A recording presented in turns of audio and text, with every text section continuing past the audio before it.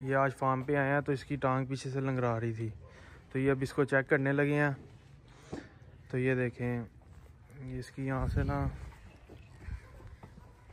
इधर से कोई दर्द मना रही है। ये यहाँ से इसके कोई दर्द है। ठहर जा क्या ना। चले ठहर ठहर जा। इधर इसकी। ये इधर इसके दर्द है। में दर्द मना रही है क्या ना? दिखा, तोड़ दे।